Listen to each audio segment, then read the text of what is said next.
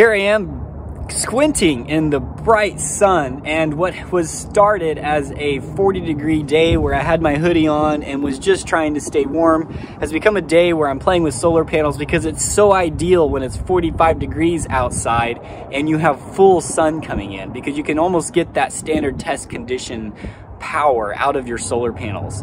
I digress though because something that I noticed today was a question I had in my mind for a long time about when you have the option of what voltage to run into your solar charge controller, such as an MPPT solar charge controller that has a range, do you run in parallel or do you run in series?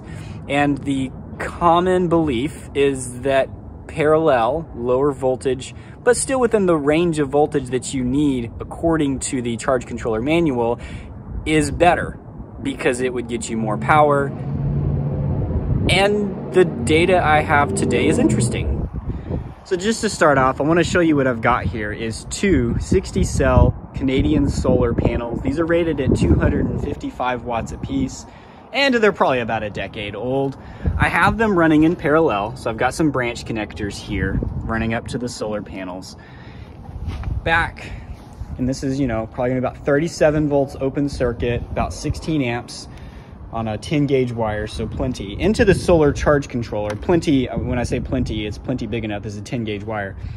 Um, into the solar charge controller, out of the solar charge controller into my battery. It's going through the shunt on the negative side as it should. And this is the piece that I was really playing with today. Was a Victron Smart Shunt that I purchased so that I can see how much power is coming into the battery from a third party device, as opposed to relying on this monitor for the solar charge controller itself because the power here on this solar charge controller and any solar charge controller I've seen is measuring how much power is coming into the solar charge controller from the panels, not from the solar charge controller into the battery, which means it's going to be inflated because it doesn't include the inefficiencies within the solar charge controller, which are typically 10% or more.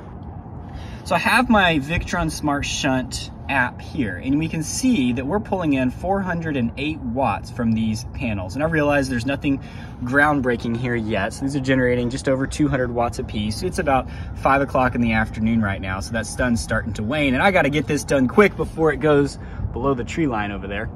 But bear with me, what I wanna do here is move this from being in parallel to being in series. And then we're gonna look at this data again from the Smart Shunt.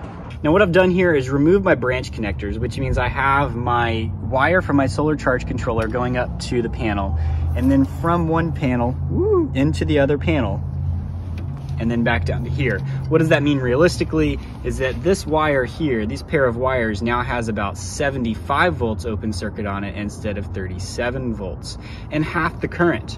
So I only am pushing, you know, 8 amps max across this wire, which is still 10 gauge wire, but that means that that wire is way big for what it needs to be. But let's come back over here to our Victron Smart Shunt. Now that we're in series, we can see that we're generating 411 watts of power. Now, if I had actually come over here and started videoing this first, then it would have been a bigger difference. But it was up at about 416 before I went over there and started explaining series versus parallel. And now we're down below what it was in uh, parallel versus series. But the, the, the, the, the data is, no, it looks like my battery's full. But the data is that for whatever reason, this solar charge controller actually works better charging a 14 volt battery, a 12 volt battery, it's at 14 volts right now.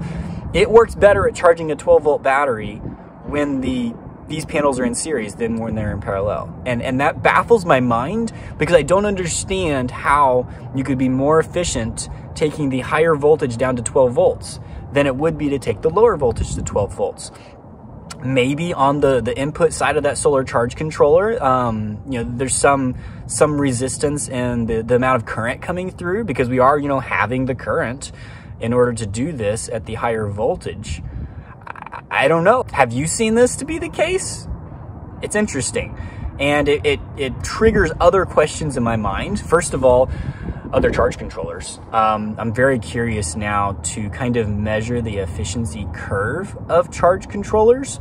The ones that I play with wouldn't typically publish something like that. Now if we bring this up in the EPEVER manual itself, we can see that the max number of panels in series when using a 60 cell panel, which is exactly what I'm using here, is two.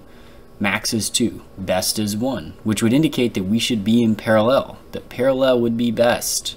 That's what the manual says. And yet, series works better. And as things typically go, um, answered a question, and now I've got three more.